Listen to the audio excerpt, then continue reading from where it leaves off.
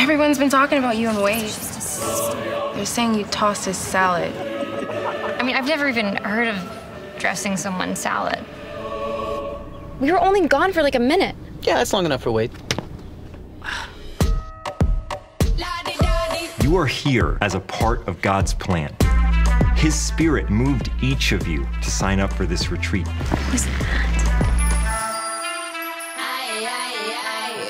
Hi, Alice, right? Yeah. Welcome. It's okay if you think things are totally weird. I'm gonna need your cell phone and watch. You won't be needing a watch this weekend anyway because you're on Jesus' time. See ya. Alice, this retreat isn't going to do you any favors if you're not honest.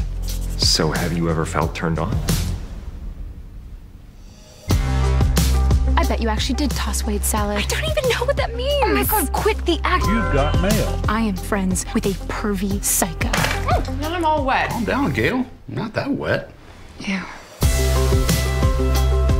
You know, the truth is, nobody knows what they're doing any more than the rest of us.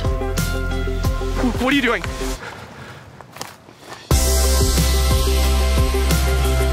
You're all hiding stuff. Mm.